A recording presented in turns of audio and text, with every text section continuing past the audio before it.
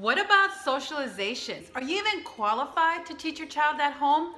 What about college? As a homeschooling mom myself of six children who has always homeschooled, I can tell you that these are myths. Myth. Myth number one.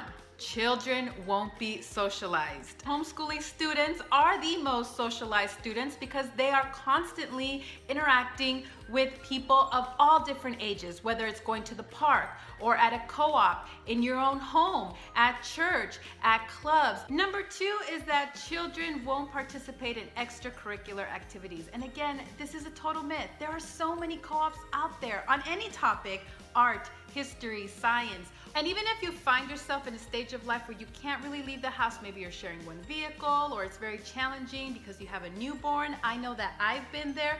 Well, now we also have all these great subscription boxes that can be delivered straight to your door.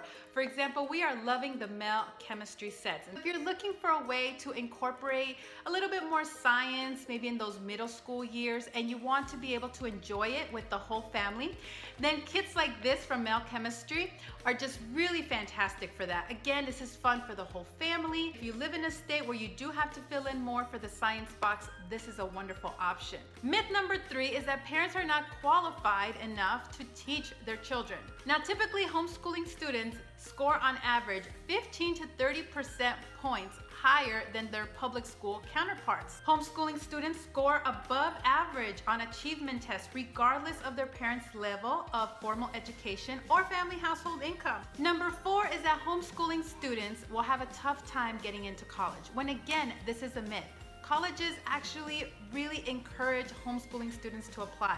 And a couple of the reasons why is because they find that homeschooling students are more self-disciplined and self-motivated and they also have the time to develop extracurricular activities. Number five is that only a small religious minority homeschool. And this is simply not the case. And it is a trend that is growing every year as more families pull their children out of these public schools. The largest reason is bullying and violence. And so there you have it, five myths when it comes to homeschooling.